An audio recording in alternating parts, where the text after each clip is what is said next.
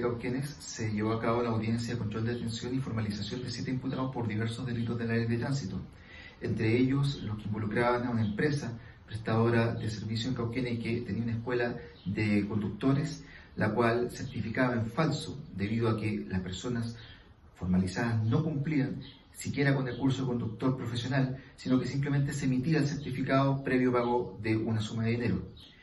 También se estableció que las personas que obtuvieron estos certificados falsificados ideológicamente los presentaban en la municipalidad y obtenían así una licencia de conducir profesional. Además, uno de los encargados y profesores de dicha escuela conducía y prestaba cursos con eh, un certificado que entrega el CEMEP de carabinero falsificado. Por lo tanto, se formalizó a estas personas por los delitos de la ley de tránsito y se estableció la medida cautelar para el principal involucrado del arresto domiciliario total y para los otros diversas medidas cautelares del artículo 155 del Código Procesal Penal. Igualmente se estableció un plazo de investigación de cuatro meses toda vez que se efectuó un allanamiento a las oficinas y se logró la incautación de diversas especies relacionadas con el delito.